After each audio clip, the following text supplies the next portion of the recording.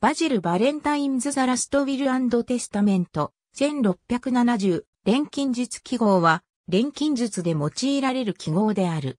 18世紀に記号として用いられたものである。一部は、惑星記号にも用いられた。や、もその一つである。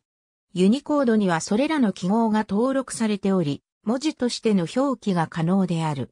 パラケルススは3つの記号を用いた。4大元素は次の記号が用いられた。惑星記号から次の記号が用いられた。その他単体物質として次の記号が用いられた。その他酸と塩基の記号として次の記号が用いられた。鉱石の記号として次などが用いられた。実験を表す記号として下記が用いられた。実験器具を表す記号として下記が用いられた。時間を表す記号として下記が用いられた。表量を表す記号として下記が用いられた。ユニコードではバージョン6.1で錬金術記号ブロックが加えられた。それ以前から一部の錬金術記号はその他の記号ブロックに収録されていた。